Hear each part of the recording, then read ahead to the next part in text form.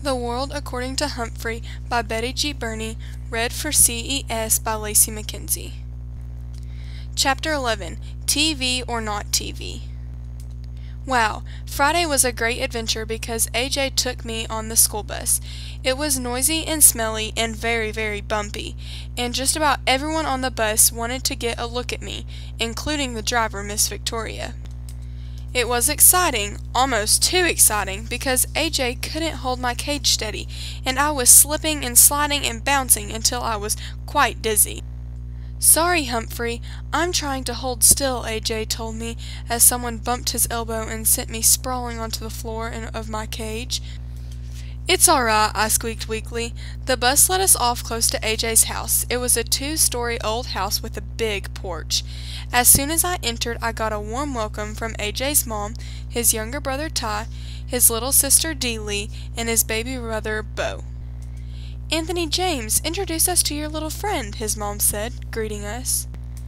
Anthony James? Everyone at school called him AJ by his initials, or just A.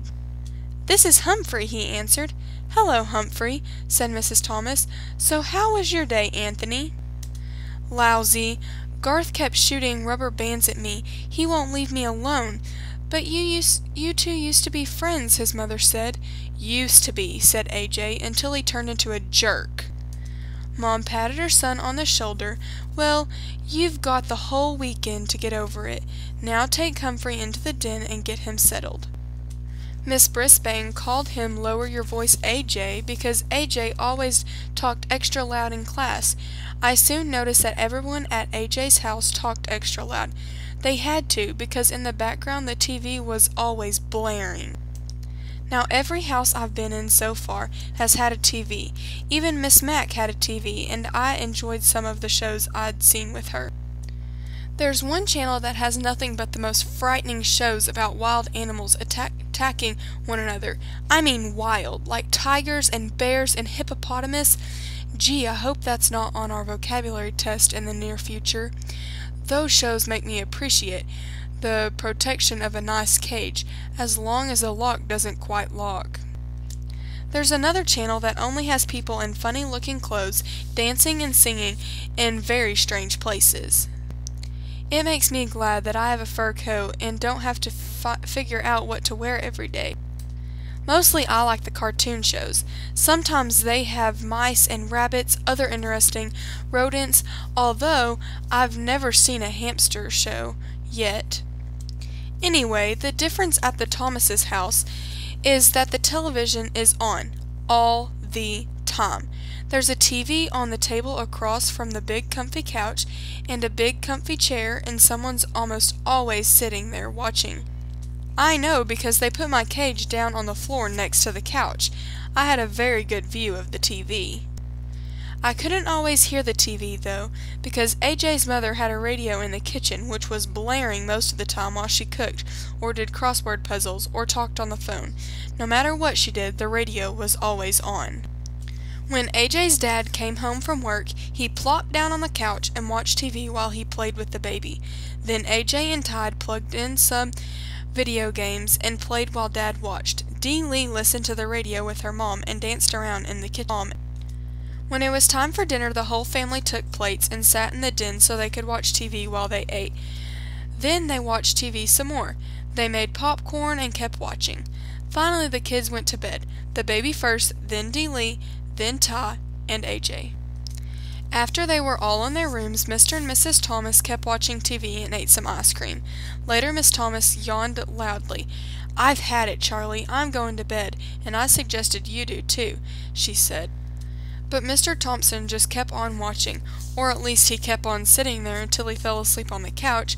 I ended up watching the rest of the wrestling match without him. Unfortunately, the wrestler was rooting for Thor of Glor lost. Finally, Mr. Thomas woke up, yawned, flickered off the TV, and went upstairs to bed. Peace at last. But the quiet only lasted about ten minutes. Soon Mom brought Bo downstairs and gave him a bottle while she watched TV.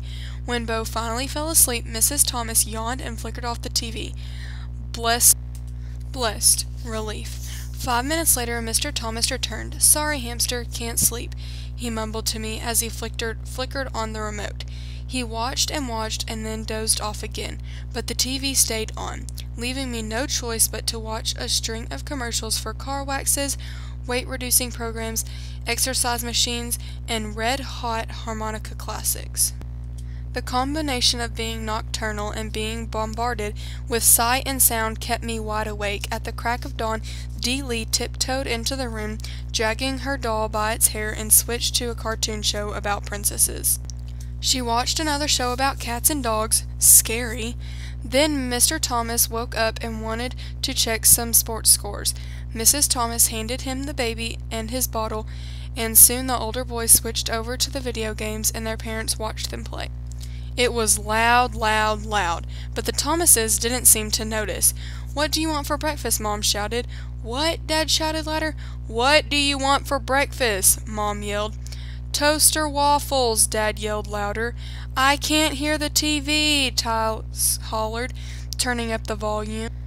Do you want juice? Mom screamed.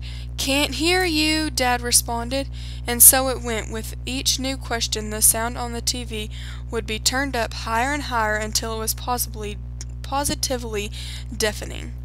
Then Mom switched on her radio. The Thomases were a perfectly nice family, but I could tell it was going to be a very long and noisy week unless I came up with a plan. So I spun on my wheel for a while to help me think. And I thought and thought and thought some more, and then it came the big idea. I probably would have come up with it sooner if I could have heard myself think. Around noon, the Thomases were all watching the football game on the TV, or rather Mr. Thomas was watching the football game on TV, while AJ and Ty shouted questions at him. Mrs. Thomas was in the kitchen, listening to the radio and talking on the phone. Dee Lee played peekaboo with the baby in the cozy chair. No one was watching me, so I carefully opened the lock that doesn't lock on my cage and made a quick exit. Naturally, no one could hear me skittering across the floor as I made my way outside of the room over to the space behind the TV cabinet. Then, with great effort, I managed to pull out the plug, one of the most difficult feats of my life. The TV went silent, beautifully, blissfully, silently silent. So silent I was afraid to move. I waited behind the cabinet, frozen. The Thomases stared at the TV screen as the picture slowly went dark. Ty, did you hit that remote? Mr. Thomas asked. Nah, it's under the table. Anthony, go turn that thing on again, Mr. Thomas said. AJ jumped up and hit the power button on the TV. Nothing happened. It's broken, he exclaimed. Mrs. Thomas rushed in from the kitchen. What happened? Mr. Thomas explained that the TV had gone off and they discussed how old it was five years. Whether it had a guaranteed, no one knew, and if Mr. Thomas could fix it, he couldn't. Everything was fine, and it went off, just like that. I guess we'd better take it in and get it fixed, Mr. Thomas said. How long will it take? Dee Lee asked in a whiny voice. I don't know, her dad replied. How much will it cost? Mrs. Thomas asked. Oh, yeah, her husband said. I forgot. We're a little low in the funds right now. The baby began to cry. I thought the rest of the family might start crying too. Well, I get paid next Friday, Dad said. AJ jumped up and waved his hands. That's a whole week away. I'm going to Grandma's house. Her TV works, said Ty. Me too, Dee Lee chimed in. Grandma's got her bridge club over there tonight, Mom said. I know, said Dad. Let's go to the movie. Do you know how much it costs to go to the movie? Mom asked. Besides, we can't take the baby. Oh.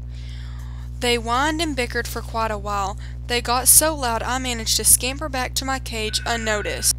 Then I guess I dozed off. Remember, I had hardly had a wink of sleep since I'd arrived. The bickering was nice, soothing background after all the racket. I was only half asleep when the squabbling changed, but there was nothing to do. Dee whined. Her father chuckled. Nothing to do. Girl, my brothers and I used to spend weekends at Grandma's house, and I never had a TV. Wouldn't allow it. What did you do? AJ asked. Oh, we were busy every minute, he recalled. We played card games, board games, and word games. And we dug in her garden and played tag, he chuckled again.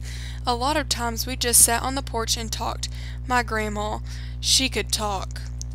What'd you talk about? Ty wondered. Oh, she'd tell us stories about her growing up, about ghosts and funny things, like the time her uncle was wake walking in his sleep and went to church in his pajamas. Miss Thomas gasped. Oh, go on now, Charlie.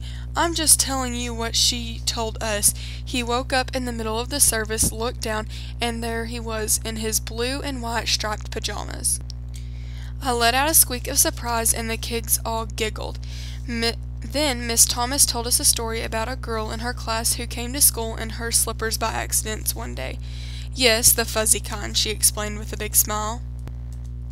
They talked and talked, and Dad got out some cards, and they played a game called Crazy Eights, and another one called Pig, where they put their fingers on their nose and laughed like hyenas. When Bo fussed, they took turns jiggling him on their knees. After a while, Miss Thomas gasped, Goodness sakes, it's an hour past your bedtimes! The children all groaned and asked if they could play cards tomorrow, and in a few minutes all the Thomases had gone to bed and it was quiet, quiet, quiet, for the first time since I'd arrived. Tip 11. Be careful. If set free hamsters are ex experts at disappearing in a room.